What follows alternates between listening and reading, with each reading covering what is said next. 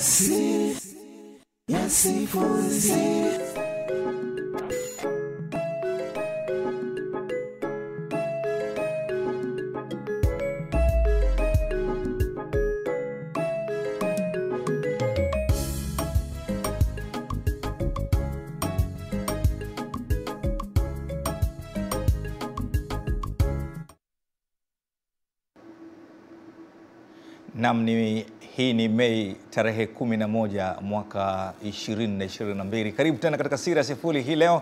Hii ni Jumatano mpya kabisa kabisa ambapo tulimaliza eh, kile kilele cha mama duniani na shukuran uh, za pekee kabisa kabisa ziende kwa kina mama wote ambao wametulea kwa huruma na mapenzi makubwa kutufanya eh, leo hivi tulivyo eh, lakini kama ilivyo- ilivyokuwa ada katika Siri ya Sifuri eh, tuna vitu mchanganyiko hivi Ah, tuna kile kipengele ambapo tunakwenda mtaani tunauliza watu wa mtaani kuhusiana na mambo mbalimbali mbali na baadaye kidogo tunapiga hatua mpaka kwa mzee Mudhili Muhammad pale Mkuranga, lakini leo nitakuwa na mgeni eh, maalum kama ilivyo kawaida ya Siri ya Sifuri. Yeye ni Hemed Kivuyo, nafikiri umepata kumfahamu. Ni msemaji bora kuwahi kutokea nchini akisemea kandanda ya Tanzania kupitia kule katika e, timu ya kandanda ya Geita Gold yenye maskani yake kule kwa watani zangu kule Geita. E, mi naitwa Majid Mswahili, mwenyeji wa kipindi hiki kama ilivyo kawaida, na tupige hatua mguu mosi mguu pili, na nakwambia kwamba katika Siri ya Sifuri hii imefumbata siri nyingi. Moja katika siri hizo ni hii ifuatayo. Unajua, wakati fulani katika maisha ni busara kweli kweli kuuguza wagonjwa. Ukiwa na mgonjwa ni busara ama hekima kumuuguza mgonjwa wako, lakini itakuwa ni kitu kisichokuwa kizuri na hakileti akili vizuri kama utadiriki kuugua na mgonjwa wako. Nimesema busara ni kuuguza mgonjwa, lakini usikubali kuugua naye. Hii ni Siri ya Sifuri.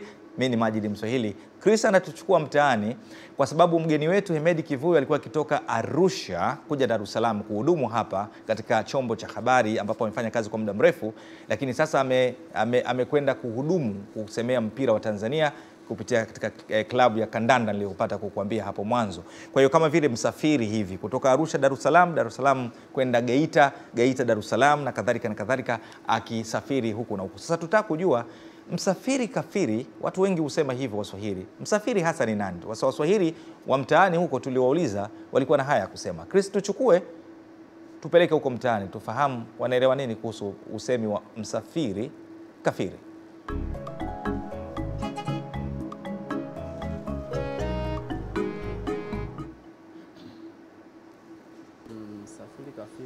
Yake ni kama mtu alipo anasafiri, baada ya kusafiri labda amepata ajali, ameuka akili, au maana nyingine unaweza kuichukulia baada baada ya kupata ajali ametukana, nachukulia ndo hiyo maana msafiri kafiri. Maana ya msafiri kafiri ni mtu ni mtu wa mwenye anabadilika badilika. Tafsiri ya neno msafiri kafiri ni kwamba ni mtu ambaye anasimamia malengo fulani, ili akifika mbele akikutana na mtu amefanikiwa kama kwa, kwa njia nyingine anabadilisha malengo aliyokuwa amesimamia mwanzo. Hiyo ni tafsiri ya msafiri kafiri. Msafiri kafiri ni mtu fulani anatoka sehemu fulani asiyokuwa na misimamo na malengo yake, ni msafiri kafiri. Yaani kafiri ni mtu fulani aloasi nini, aloasi dini yake kwenda dini nyingine. Sasa kwa hiyo msafiri, safiri ni safari. Sasa kwenye safari, kwenye safari pale unakuta sasa ukichanganisha msafiri na kafiri unapata ni msafiri asiyokuwa na misimamo yake anaye nini anatangatanga katika misimamo yake. Msafiri kafiri maana yake ni mtu ambaye anayetoka sehemu moja kwenda nyingine, ni mtu ambaye anayebadilika badilika kulingana na mazingira, ndo mtu anaitwa msafiri kafiri.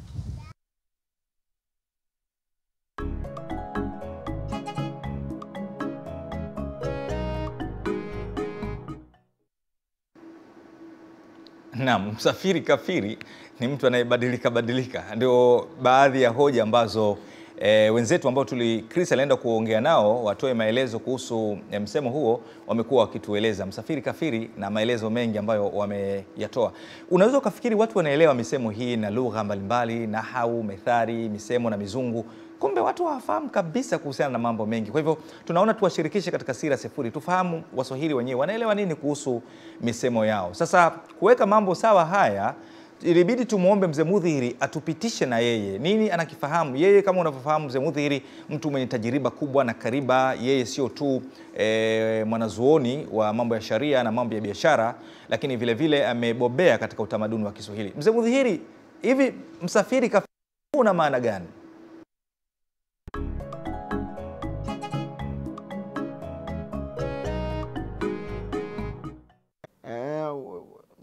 Nime- nimepata kusikia si mara moja si mara mbili watu kusema msafiri kafiri, lakini wakati mwingine vio usikia wakisema msafiri kakiri. Kwa nini?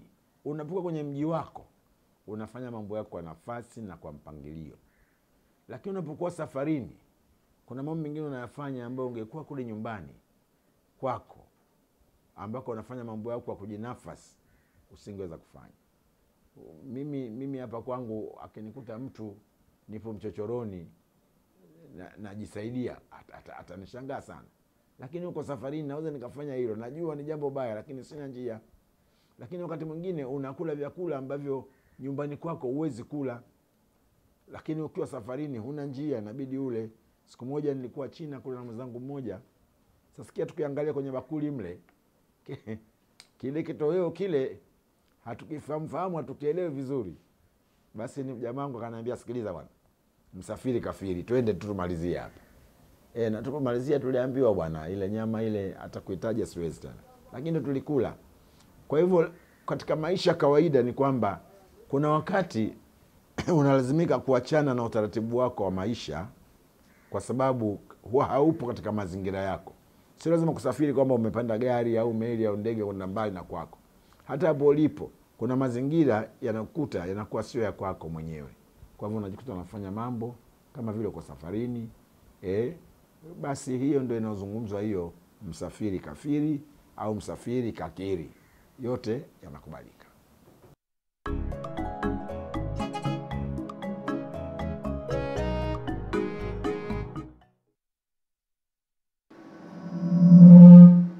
Naam, asante sana mzee Mudhiri Muhammad Mudhihiri, e, mzee wa Mchinga mbili hapo Mkuranga.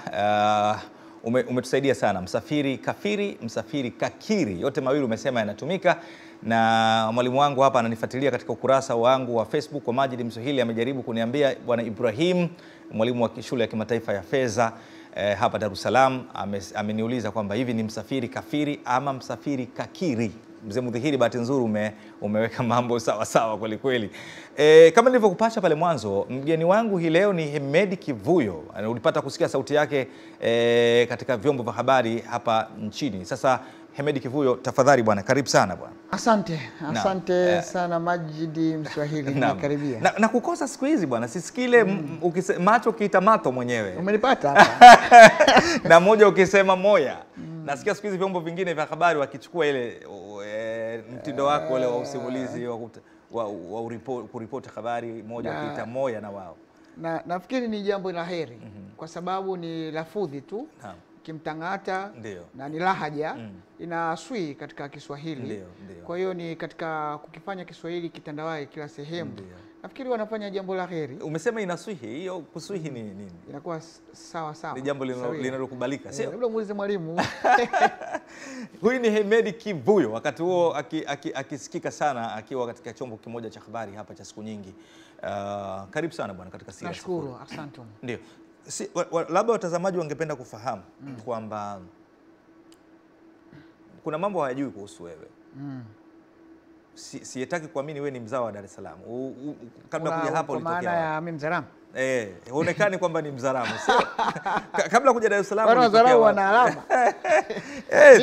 Eh, eh, hapa nimekuja kikazi lakini nimeshaloea sasa eh. na mi natoka Arusha, mwenyeji mzaliwa wa Arusha, hospitali ya Mantumeru mkoani Arusha, Ndiyo. miaka kadhaa iliyopita.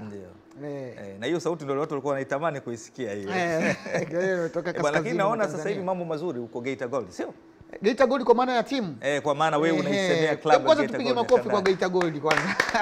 Wamefanya nini kikubwa Geita Gold? Eh, timu ambayo imepanda daraja msimu huu na msimamo katika Eh, msimamo katika msimamo mpaka sasa hivi ya tano ya nne. Ah. E, jana Azam wame nani wameshi- wame- ndio ndo wakatupita Mbeya City. Mm. Eh, kwa hiyo tuna- tunaitafuta kwa tuko kwenye namba tano za juu. Kwa unaweza kusema kwamba kesho un- mm -hmm. tunaweza tukarudi Kesho nafasi mnakipiga ya na tatu na Ruvu Shooting. na Ruvu Shooting. mm. Unakutana na ndugu yako Masau Bwire. Eh, miliki wa simu zaidi ya kumi. Eh, na nyinyi wote ni washititi wa lugha adhimu ya Kiswahili. Itakuwa ni raha sana. Wewe unasema na yeye anasema. nzuri sana yule ni mwalimu kwa ananifunza pia. Kivuyo, karibu sana. Nashukuru. Kivuyo, unaelewa nini mtu akisema uh, kazi mbaya ukiwa nayo? Msemo kama huu kwako una maana gani? E, kazi mbayo ukiwa nayo kwa, kwa inawezekana isiwe tafsiri sahihi kwa maana ya kwenye vitabu mm. e, lakini kwa mtazamo wangu mimi mm. e, anapokuambia kazi mbayo ukiwa nayo ni kwamba kile ulichokuwa nacho mm. unakifanya sasa ni cha kwako mm -hmm. yaani umekizoea unakiendesha kwa mazoea mm -hmm. sawa eh? mm -hmm. kwa hiyo unaona ah, cha kawaida kipo tu mm. Sawa mm. na naweza nikatoa na mfano mm.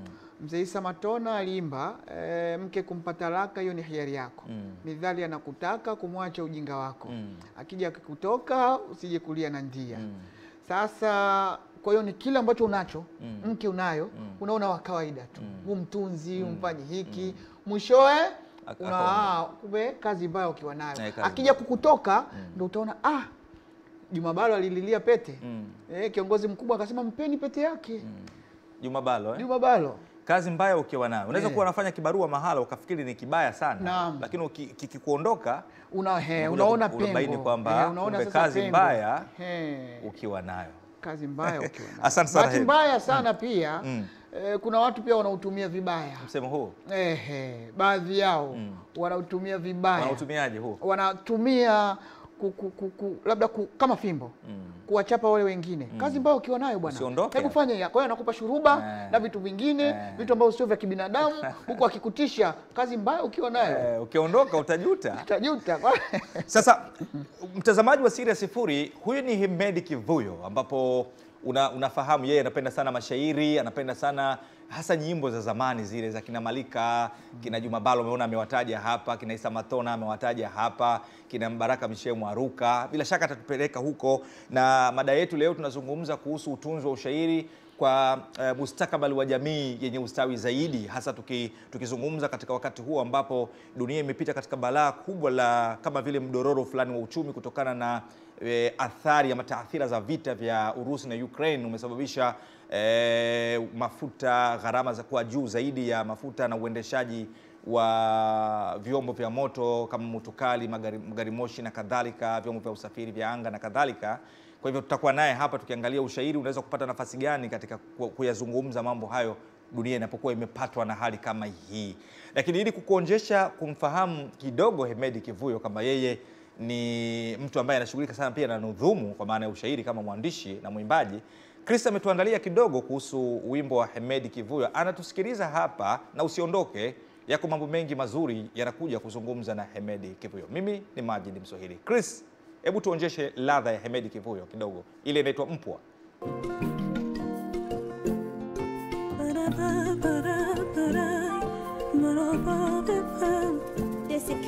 Pembeni ya dhumuni la barua hii utambue uoga ni aibu, lakini uoga huo huo huwafanya waoga kusimama nje ya nyumba zao kutazama magofu ya zilizokuwa nyumba za mashujaa. Mpwa, hatutokufa moyo abadan, afadhali tufe mato. Tutakufa na fikra zilizo hai na hatutaishi na fikra zilizokufa. Mpwa, waanika pweza jua ni wapi? Rudi kijijini mpwa, uendelee kupigania nafsi zetu zilizozungukwa na viki kwani hatuna hatunani. Mpwa, mpwa wetu, mpwa fikiria upendo wetu kwako, bado twakupenda.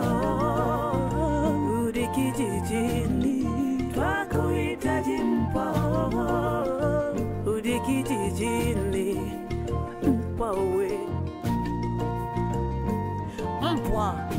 we kichwa kikubwa bila akili ni mzigo kwa miguu, kwa kuwa najua ujinga ni cheo usichoruhusiwa kumwongoza hata mtoto.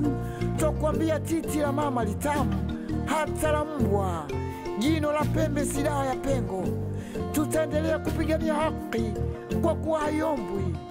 Rudi mpwa, hata tule ugali na chumvi huku kijijini, na uvue joho la muumba ulilojivika dhidi yetu.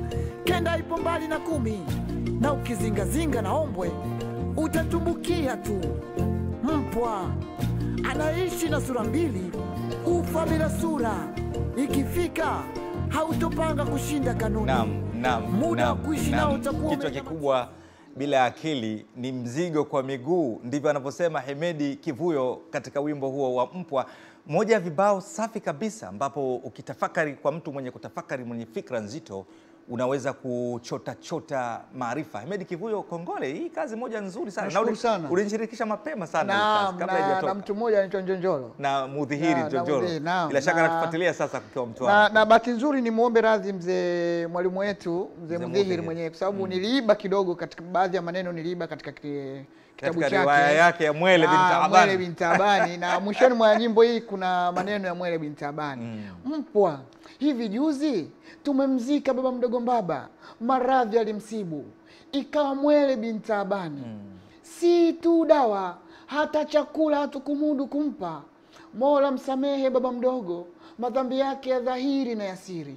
hichi kipande kina ukweli Kina ukweli. tutazungumza siku nyingine Sawa, nakushukuru sana. Basi huyo ni Hemedi Kivuyo. Sio yule tu ulikuwa unafikiri wewe ni mtangazaji tu wa matangazo ya eh, katika television au radio, mm. lakini huyu ni Hemedi Kivuyo sasa hapa kama msanii, na tumemwita mahususi katika eneo hili yeye kama msanii na mwimbaji. Hemedi, huu, hii ni kazi bora sana kwa, na, kwa, lakini wengine wana wasiwasi, pengine hii ni kazi ambayo kama vile umenakiri kutoka kwa kazi za Mrisho Mpoto. Hii ina ukweli kiasi gani? Ah, hapana, isipokuwa nimepita katika mishororo hile ile ambaye ana njia ile anayepita Mrisho mm ni, nikiri nimepita huko mm. sawa eh? E, na tumetumia ushairi nimefunga funga maneno kama ilivyo taarab za zamani Ndio. sasa hivi naona kuna watu wanaweka midole hivi mm. wanasema ni taarab sio taarab Inaweza kuwa mipasho, kwa, sio? eh, kwa mipasho hiyo watu wana sasa nyimbo sasa hivi mtu mwingine ana, ana anasifu kuvunja ndoa ya mtu mm. anajisifu mm. sawa eh? mm. lakini zamani nyimbo ilikuwa eh, inakuweka ina- katika maadili mazuri. Kwa hiyo nimepita kule kwenye ushairi. Ushairi. ingawa alikuwa anaongea maneno mengine na mimi mengine. Yeah. lakini tumepita mfereji mmoja. Mm. na si dhambi. Um- Ume, umesema kichwa kikubwa kisicho na akili ni mzigo mzigo kwa miguu. Unakusudia kwa sababu miguu inabeba mwili mzima. Miguu inabeba mwili mzima. Na wakati mwingine kichwa kisichofikiri yani ndio ile kwa lugha nyingine short memory span. Samani kwa hilo. Lakini tunazungumza kwamba wa- kama kichwa kimewekwa kwa ajili ya kufikiri mm. kutafakari mambo mengi sana mm.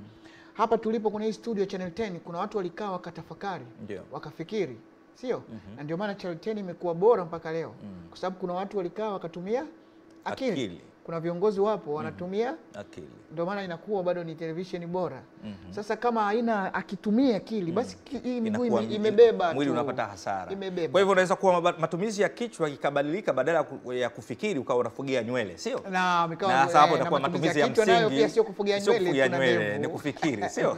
Asante Hemedi. Basi hiyo hiyo ni, ni, ni kazi nzuri kama nimesema, ukitafakari vizuri unaweza kuona eh, kuna kuna jambo muhimu sana la kutafakarisha hapo.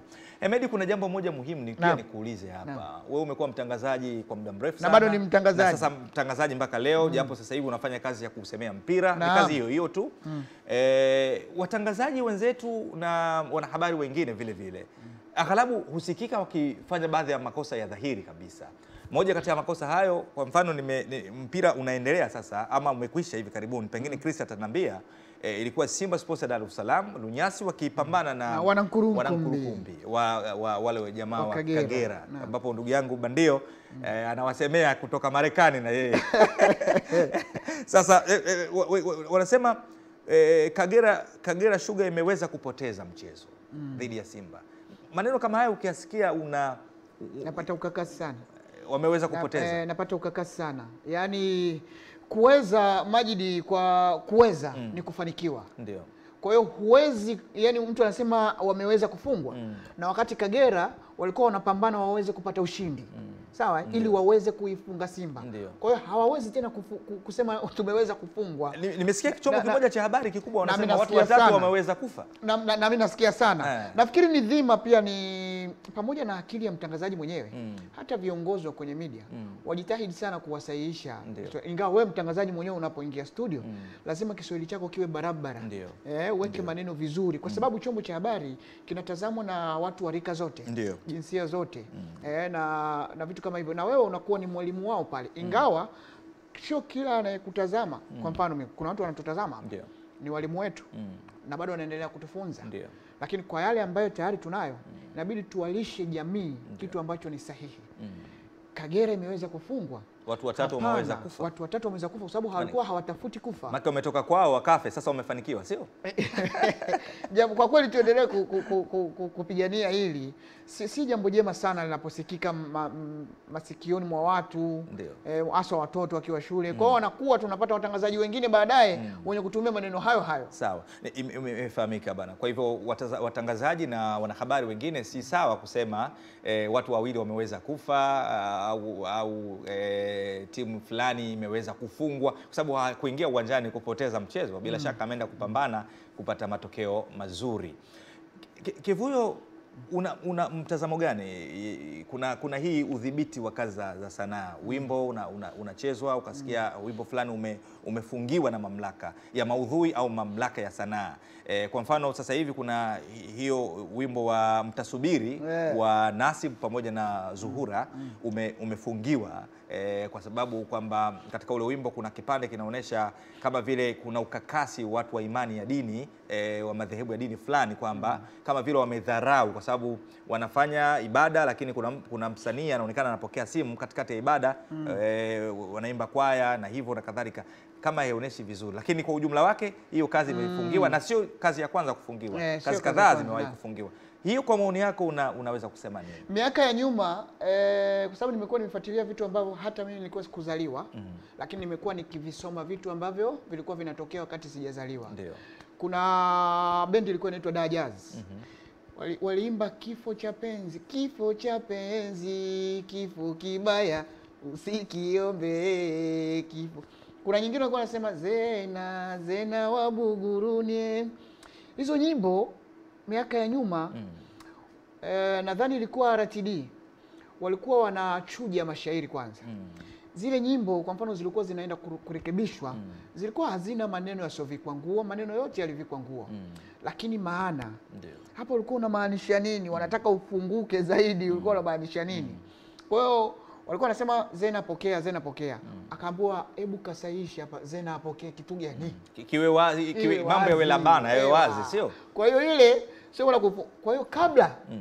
ya kwenda hewani wao walikuwa wanapitia mashairi Ndiyo. kwa sasa hakuna mtu atakubana mm. utaandika mashairi yako mm. hata usipoleta kwenye kituo kama hichi utaweka youtube mm. utaweka kwenye mtandao wako wa eh, facebook Sasa kwa maoni yako Kivuyo, kwa maoni yako sasa sikuona hiyo, sikuona hiyo, Mm, eh, isipokuwa- kwa ujumla tu kufungiwa kwa kazi za sanaa wewe kwa ujumla, Mm. kwa ujumla Mm. mimi ninanyosha mikono na ninawapa salute waendelee kufungia Yaani kwamba mamlaka kwa nini umesikia wimbo wa Mrisho Mbodo umefungiwa? sijawahi kusikia. Umesikia wimbo wa Nashi umefungiwa? Ah, Sijawahi kusikia. Eh, Ewa, sijawahi umesikia nyimbo labda ya, ya Sikinde hata wimbo wako umesijawahi mimi sijawahi kusikia ukifungiwa. eh. maneno yamevikwa nguo. Lakini uhuru wa sanaa uko wapi? Kivuyo, uhuru wa sanaa uko wapi? Ah, Hakuna, hakuna uhuru usiokuwa na mipaka. Kuna mipaka.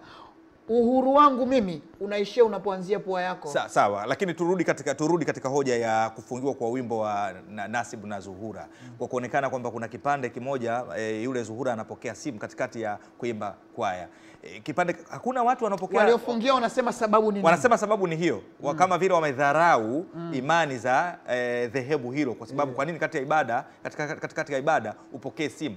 Mimi, mimi nakuuliza wewe ambao unasema wewe una, una, unawapa kongole kwa kufungia. mm. Hakuna watu misikitini na makanisani wanapokea simu au wana, wana, wana, Si utaratibu.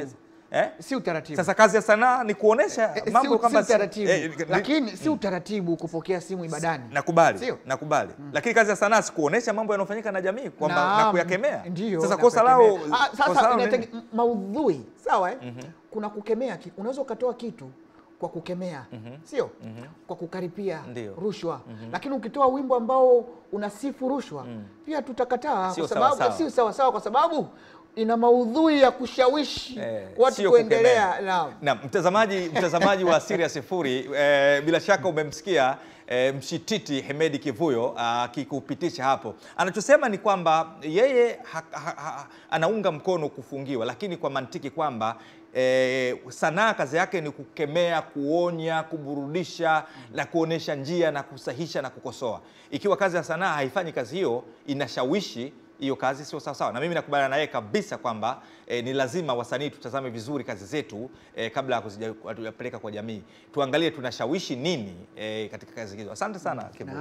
Eh, Sasa Chris anatupeleka kwenye kionjo na zitapita nambari za simu na tutakupa dakika tano peke yake za kutupigia simu e, utuambie maoni yako kutokana na haya ambayo tumeyazungumza leo.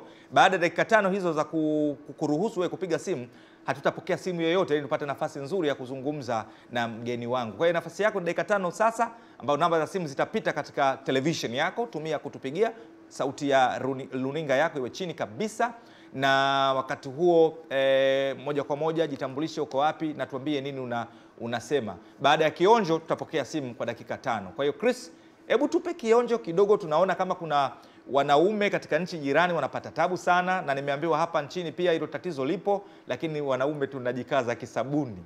Tusikie mwanaume mwenzetu anatuhamasisha kwenda katika mkutano mkubwa sana, na utaniambia hiyo shida huko Tanzania ipo kwa ukubwa gani, au ni huko jirani tu. Chris, tafadhali tupe kionjo.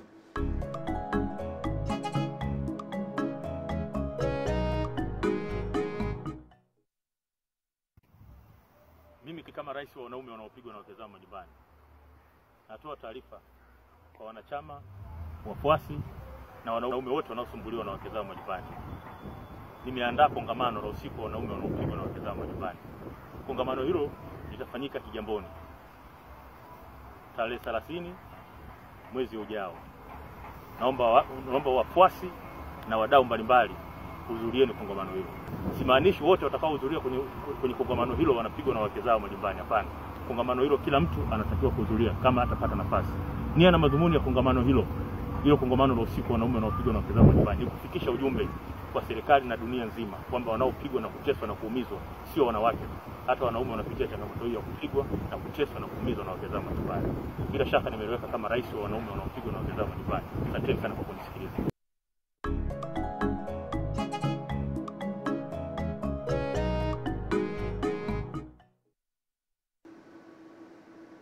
Bila shaka tumekuelewa rais wa wanaume e, tuna wanaopigwa. Eh, Mimi sio mimi, Bizolea binti Jamari Musa anipigi bwana, mimi ananipa ananipiga kwa mahaba mazito na huba na hivi e, pole sana. Nimeona hata una, una plasta katika shavu lako, ndio kipigo iko mwanaume mwenzetu. Pole sana kwa hayo yanayokusibu, na bila shaka watu watahudhuria katika mkutano, pengine kuna shida hiyo kubwa. Sasa E, simu huu ni wakati wa kupiga simu kwa dakika e, tutapokea simu e, tatu tu tatu tu e, Chris tutapokea simu tatu peke yake. Kwa hiyo e, alafu tutaendelea kuzungumza na, na Hemed. Wakati tunasubiri simu, Hemed, umeona sasa hivi kuna anwani za makazi, zoezi mm. la Mm. anwani za makazi nchini mm. sio? Naam. Bila shaka mimi binafsi napongeza eh, mkakati ule wa kuweka anwani za makazi yeah. zinatambulisha makazi yetu mm. lakini kuna, kuna changamoto imejitokeza mm. vibao vile vinavyotambulisha mitaa na hivi eh, zi- imeandikwa kwa Kiingereza na Kiswahili. Mm. lakini shida pengine sio Kiingereza tu Ki- Kiingereza kina changamoto nyingi sana. Mahali mtu anataka kusema barabara anataja mzigo. Eh, ba, ma, mahala ambapo anataka kusema eh, kikosi cha mm. E, cha kutuliza ghasia anataja Kama- kama chakula. eh, hii ni- ni Chinangali. Dodoma huko. E, Chinangali Lodi. Sasa pale haiwi, haiwi barabara inakuwa mm. ni mzigo eh? Eh, inakuwa ni mzigo. Labda Chris atatupeleka sehemu nyingine, kuna barabara, kuna barabara nyingine hiyo ni Seketure. Eh, hii, hii, hii wameweka road wamepatia Kiingereza. Eh, lakini hii chini ameweka BR maanake ni barabara. Sio mtu atajuaje kama BR ndio barabara Seketure. Eh, labda tuone kibao kingine kama kipo. Eh, Kasim Majaliwa hiyo. Kasim Majaliwa. Lakini pale ni Feed Force. Umeona Feed Force ilivyoandikwa? Eh, feed kama ya chakula E. hivi eh, badala ya field ile ya, ya wale askari wa kudhibiti ya field kwa maana ya eh, ya kwenda katika uga ule kutuliza ghasia mm. na kadhalika. Kwa hiyo hii ni changamoto, sio kama hiyo huo ni mzigo wa mahakama sasa huo ni mzigo wa mahakama hey. na hiyo kanisa mzigo wa kanisa huo, kanisa road. road. Eh, ikiwa road inakuwa barabara ikiwa road L inakuwa ni mzigo sasa mm. sijui sijui uratibu unafanyikaje na, na nafikiri waziri mwenye dhamana na, na ana, ana jambo la kufanya kuna, kuna walimu pia wanatufuatilia mwalimu Latifa Mm -hmm. nafikiri hii pia mimi mwanzo nilivyoona mitandaoni Mm. -hmm. nilihisi labda ni watu wanaocheza na mitandao Ndiyo. lakini kufuatilia zaidi kumbe ipo una maoni gani? Kulikuwa na ulazima huu? Jambo jingine Mm. mimi ni artist Mm. mimi ni mchoraji Mhm. nachora mm -hmm. sikuwa nimeweka kidogo kando lakini kama kipaji kipo kipo Ndio. sifa ya kwanza ama kanuni ya kwanza wewe artist Mm. unakwenda kuandika kibao Mm. lazima ujue sarufi herufi silabasi vizuri kabisa Mm. sawa eh? Mm. haijalishi una umeathirika kiasi gani na lahaja za kwenu Ndio. lakini barabara kama wewe ume lahaja ya barabara imekuathiri Mm. Hupaswi kuandika barabara Mm. unapaswa kuandika barabara Mm. sio Kwa sababu si Wazaramu tuna tatizo kubwa hilo La- L na na. Wakuria wana hiyo shida R na. L.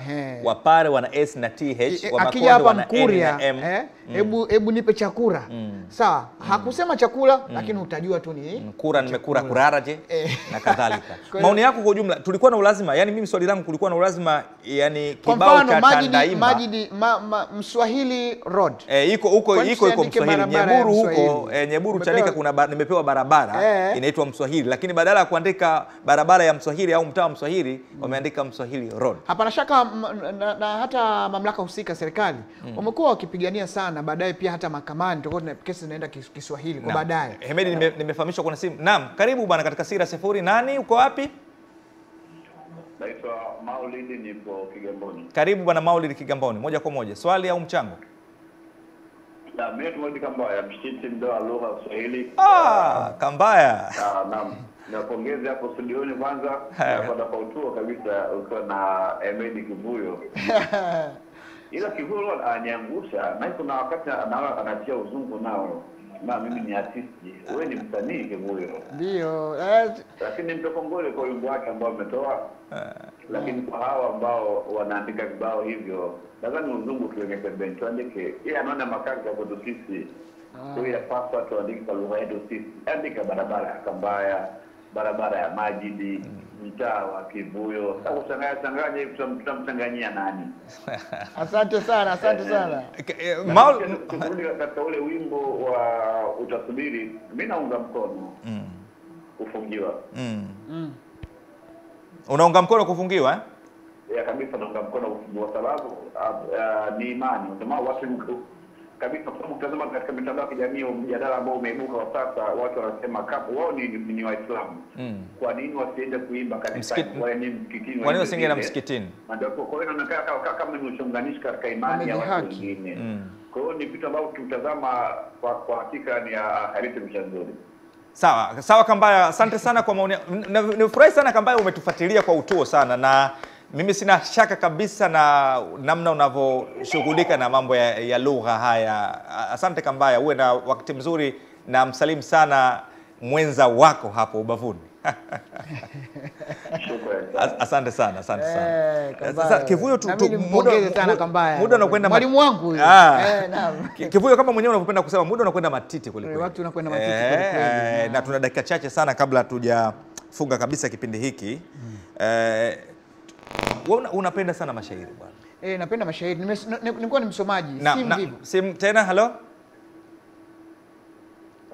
Naam, nani uko wapi bwana? Karibu katika Sira Sifuri jioni leo. Najiona na Isaki, niko Morogoro. Ni swali au mchango tafadhali, karibu kwa muktasari. Eh, mchango ndio nataka kusema hivi. Kuna baadhi ya nyimbo kuna baadhi ya nyimbo za kigeni ambazo zina na zinapigwa lakini hazina hazina mazuri mazu- mazuri kwa nini hazifungiwi? Hazina maudhui, unaweza kuzitaja hizo nyimbo? Tufuatilie. Ah, kuna nyimbo zipo mtaani humu lakini hazina mazuri mazuri. Aha. Sasa basi nafikiri mimi na wewe tuna wajibu wa kuzi pengine kuzitambulisha hizo pengine kwenye mamlaka. Unajua hizi hizi hizi nyimbo ni nyingi, pengine hawazi- mamlaka hazifiki hazi- hawafikii nyimbo zote. Kwa hiyo tuna wajibu wa kuzitambulisha hizo zi- zifahamike. Lakini nashukuru kwa mchango na mimi ninakiri kweli e, nyimbo za Singeli nyingi hazina zinahamasisha mambo ya hovyo tu. Ziko nyingi hizo na zikifungiwa hizo ni sawasawa kabisa. Hakuna tatizo. Asante sana kwa kutoka hapo Morogoro. Naam, anakusikia. Chris, nafikiri sehemu zimetosha kutokana na muda wetu, tumalizie bwana. Naam, nimekuwa nikifuatilia pia hata vitabu vyako pia nimekuwa nikifuatilia mzee Mudhihir eh, marehemu Seif Hatimu Mwenyezi Mungu amrehemu. Kipanga. Kipanga nilikuwa nafuatilia sana. Pia eh, makala mbalimbali za kwenye magazeti. Tumalize na Malika. Na Wewe ni mm, mlevi sana, ni Sana. mraibu wa Malika. Sana. Hebu kipande kimoja tukumalizie.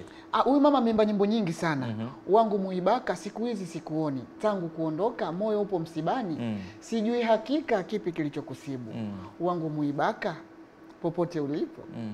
na kuhitaji. Naam. Basi Hemedi Kivuyo ndio anamalizia kwa maelezo hayo ya muktasari akinukuu eh, kipande cha Malika. Mimi niseme kwamba shukran sana kila aliyechangia Siri ya Sifuri ya Jumatano ya tarehe 11 Mei kwenda hewani, ndugu yangu Chris pamoja na Fugara Mtozi, lakini vile vile kaka Shamte kwa kusimamia vizuri sana e, kipindi hiki lakini mzee Mudhiri Muhammad Mudhihiri pale Mchinga e, wa Mchinga mbili ambaye yuko pale maskani kwake Mkuranga na watu mtani na kila mmoja aliyepiga simu tuna tunakushukuruni sana sana kina Baktin e, pamoja na Milaji Semlangwa nimeambiwa pale Kibuto ulikuwa sako kwa bako na mimi kuhakikisha kwamba e, kila kitu akikupiti. Mimi ni Majid Mswahili, tukutane tena katika kipindi kingine cha Siri ya Sifuri Jumatano inayofuata. Kwa sasa alamsik, assalamu alaikum.